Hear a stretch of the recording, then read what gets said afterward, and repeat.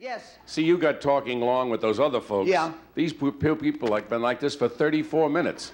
Look, if these Let them guys get started, will you? I we'll tell them who they are wait, later. Hold it. I What? say if you're going to have a growth, Well, look, let's have, one. a discussion about it. No, wait a minute. It's I ridiculous. said no. I was look, saying if you're going to have a growth, have one. I understand that. yes. One, two, three. three. Wait for the laugh. There wasn't any. You were very Look, we can discuss it. No, let me Leave tell them you, stand like I that. What difference know- does it I make? didn't Do know I they were care? there, Ed. Do you eh? care if they're standing like that? It doesn't bother me. Had I, I, I, if I knew they were like that, I would have moved that How long do you think they can stay like I that? I don't know, but why should we be discussing it now? Let me introduce them and they'll get out of the position. Or do you want to talk about how it happened in the first place? I think we should. Well, look, four weeks ago, I talked to Artie. yeah.